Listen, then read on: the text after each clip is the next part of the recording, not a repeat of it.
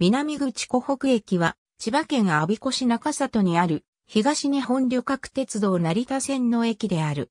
当駅の近隣に、湖を正式名称とする故障は存在しないが、手賀沼の北に位置していることからとされる。島式ホーム一面二線を有する地上駅で、橋上駅舎を持つ。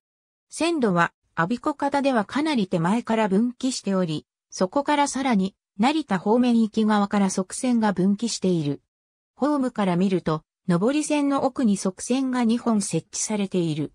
直営駅であり、管理駅として、東阿鼻子駅、小林駅間の各駅を管理している。駅舎内には、緑の窓口、自動改札機、自動券売機が設置されている。2020年度の1日平均乗車人員は3128人である。JR 東日本及び千葉県統計年間によると、近年の1日平均乗車人員の推移は以下の通り。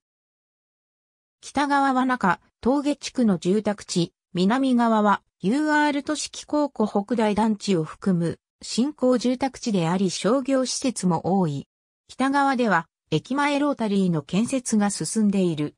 また、利根川右岸にありながら、茨城県取手市に属する小堀地区は、東駅北口から約2キロの距離にあり、徒歩約30分ほどでアクセスできる。小堀地区と取手市中心部の間には、利根川を渡る小堀の渡しが古くから運行されている。ほか、小堀循環バスも運行されている。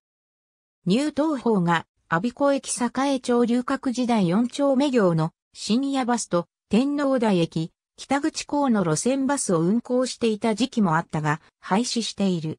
出店広報資料、プレスリリースなど一時資料。ありがとうございます。